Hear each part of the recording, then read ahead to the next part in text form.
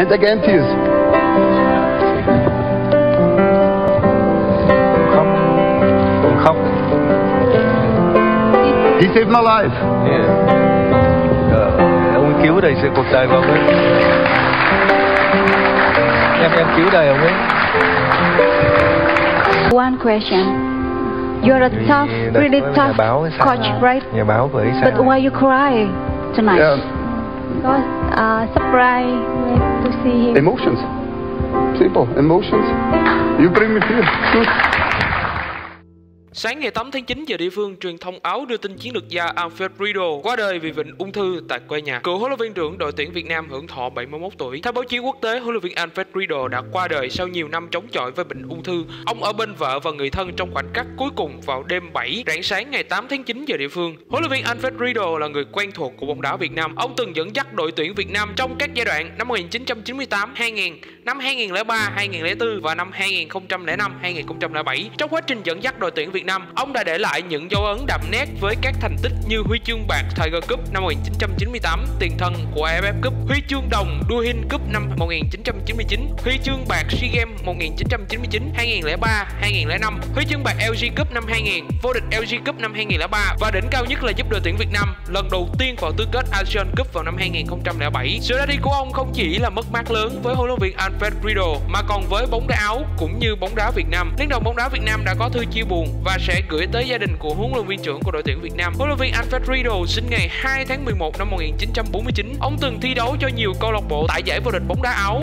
Bỉ và Pháp. Những danh hiệu mà ông giành được bao gồm chức vô địch áo, cúp bóng đá áo và vua phá lưới áo và Bỉ. Đặc biệt là chiếc giải đồng châu Âu năm 1975. Bắt đầu sự nghiệp huấn luyện viên từ năm 1990 khi dẫn dắt đội U23 và đội tuyển quốc gia áo. Đến năm 1998, ông trở thành huấn luyện viên người nước ngoài thứ tư của đội tuyển Việt Nam cùng với các cầu thủ giành ngôi Á quân Tiger Cup lịch sử năm 1998 và Á quân SEA Games năm 1999. Bình luận viên Hoang Quy chia sẻ, huấn luyện viên Alfred Riedel là người đóng góp nâng tầm bóng đá Việt Nam. Dấu ấn của huấn luyện viên Riedel là sự bài bản và điểm rơi phong độ thể lực rất tốt. Tuy nhiên, ông ấy không tìm ra được những nhân tố mới và có gì đó hơi cứng ngắc. Song bóng đá Việt Nam thời đó còn loạn, làm được như ông ấy là quá tốt rồi. Giờ nghĩ lại, với những con người ấy, nếu không phải là huấn luyện viên Riddle thì chưa chắc chúng ta đã thành công như vậy. Bóng đá Việt Nam rất may mắn vì có người như Riddle gắn bó một khoảng thời gian dài với nền bóng đá Việt Nam nên đón nhận tin tức này nhiều cựu tuyển thủ Việt Nam với màu điệu bộ môn túc cầu trên giải đất hình chữ S không khỏi xót xa những gì mà ông Riddle làm được cho bóng đá Việt Nam đáng ghi nhận vào sử sách dẫu rằng trong những nụ cười mãn nguyện còn không ít lần ngậm ngùi tuôn trào nước mắt hành trình đốt lửa cho hàng triệu trái tim của người hâm mộ bóng đá Việt Nam của ông Riddle bắt đầu từ Tiger Cup năm 1998 tiền thân của AFF Cup sau này ngay lập tức ông thầy người Áo đã tạo nên dấu ấn lịch sử bằng chiến thắng không thể ngọt ngào và hả hê hơn khi đội tuyển Việt Nam đánh bại đội tuyển Thái Lan 3-0 để vào trận chung kết Tiger Cup năm 1998. Đây là chiến thắng lịch sử và 10 năm sau dưới sự dẫn dắt của huấn luyện viên Calisto,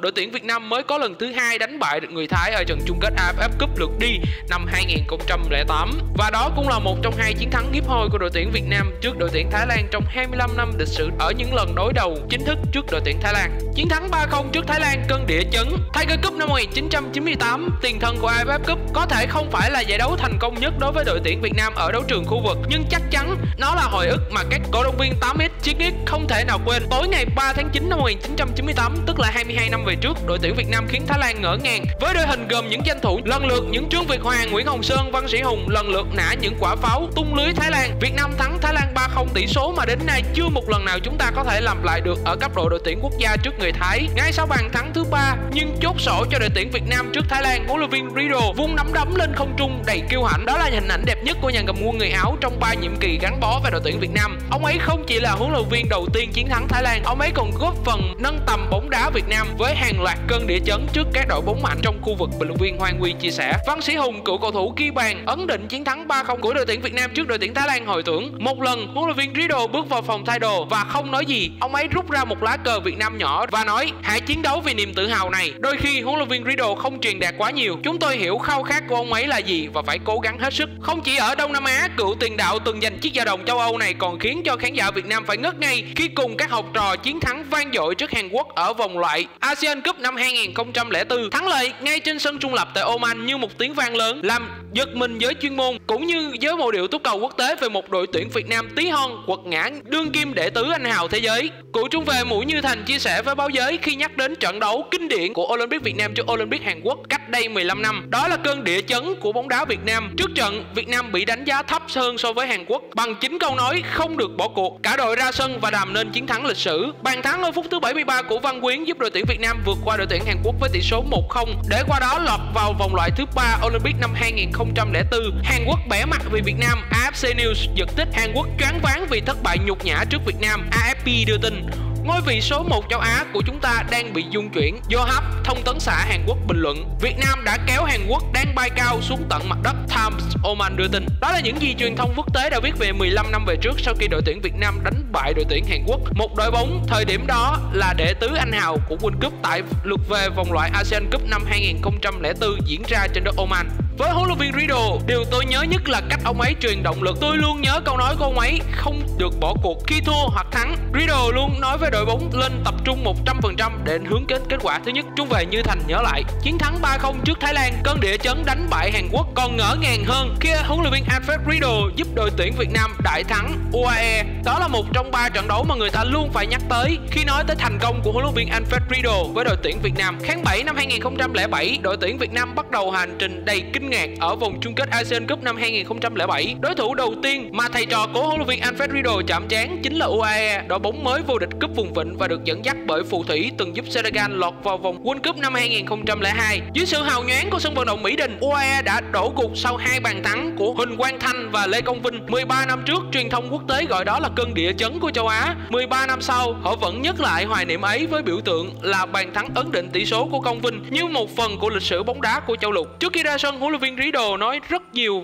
với các cầu thủ. Ông ấy cho biết về trình độ giữa Việt Nam và UE có chênh lệch, nhưng kết quả trận đấu này có thể giải quyết từ yếu tố tinh thần. Việt Nam có lợi thế sân nhà, được chơi với sự cổ vũ của cổ động viên nên không được phép đặt mình vào thế cửa dưới. Huấn luyện viên Riddle yêu cầu bình tĩnh nhưng phải tin Việt Nam có thể thắng. Hậu vệ Như Thành kể lại, sau 12 năm tôi vẫn nhớ như hình ảnh huấn luyện viên Riddle đứng trước cửa, đấm tay từng cầu thủ và không ngừng dặn dò. Những cú đấm tay của ông ấy thể hiện sự mạnh mẽ và nhắn nhủ toàn đội cần chơi theo tinh thần như vậy. Tôi đã được thúc đẩy tinh thần và thể hiện những gì Riddle cần. Có thể nói, đó là trận đấu hàng thủ Việt Nam chơi hơn 100% khả năng. Chúng ta không có nhiều cơ hội trước UAE nhưng tận dụng tốt trước khi thời cơ ghi bàn có. Huấn luyện viên Riddle đặt mục tiêu trước tiên phải giữ sạch lưới, sau đó nỗ lực ghi bàn để chiến thắng. Tỷ số 2-0 trước UAE vượt sự kỳ vọng của toàn đội cũng như người hâm mộ cựu trung vệ đội tuyển Việt Nam tự hào. Không chỉ đông đo bằng những chiến tích lịch sử, những thống kê cụ thể, một đóng góp âm thầm nhưng hết sức quan trọng khác đối với bóng đá Việt Nam của cố huấn luyện viên Alfred Riddle là thay đổi tư duy chiến thuật. Trước khi ông thầy người Áo đến, bóng đá Việt Nam chỉ quen với sơ đồ 532 hay 352, nhưng chính ông Alfred Riddle đã thay đổi cách vận hành sao bàn khi áp dụng sơ đồ 442. Qua đó rũ bội tư duy ăn mòn với sơ đồ cũ kỹ để tạo nên những sự thích ứng nhanh nhạy với các sơ đồ sau này. Không không phải là huấn luyện viên thành công nhất khi chưa từng đưa đội tuyển Việt Nam chạm tới vinh quang,